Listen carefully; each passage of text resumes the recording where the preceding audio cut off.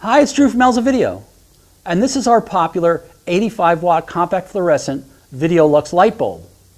This energy efficient light source is used in our drum overhead light, our Alzo 600 EX softbox, and the Alzo 200 economy softbox light. Also, they have a standard screw base, so many customers use them in a variety of other fixtures. The only issue with this light bulb is that it's fragile. So how do you transport it safely? Well, we have a perfect solution. The Alzo 85 watt CFL case.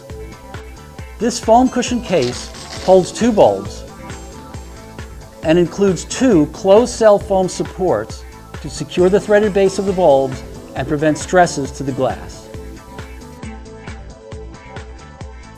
The Alzo 85 watt CFL case has Velcro strips on the back that can join two cases together and protect four 85 watt bulbs.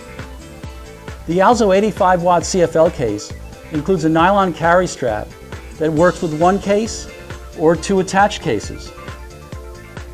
These cases not only protect the bulbs, but in addition, they provide fast access.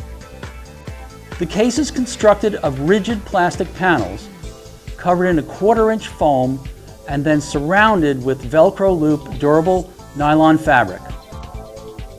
So here's the wrap up.